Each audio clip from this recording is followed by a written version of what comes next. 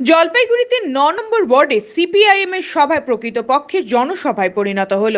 জনসভায় তৃণমূল কংগ্রেস ছেড়ে সিপিআইএম এ যোগদান করলেন।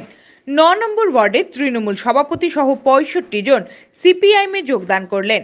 ন নম্বর ওয়ার্ডে যুব সংগঠন ভেঙে সমস্ত যুব যোগদানে অংশগ্রহণ করলেন। সভার শুরুতে ভারতীয় গণনাট্য সংঘ সদর শাখার পক্ষ থেকে পথনাটক উপস্থাপন করা হয়।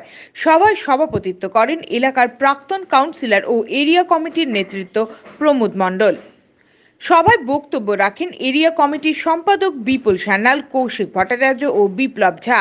উপস্থিত ছিলেন পার্টির নেতৃত্ব অরিন্দম চক্রবর্তী, সুভাষ দাস, যোগমায় দে, মিঠু বৈশ্য, প্রদীপ দে প্রমুখ।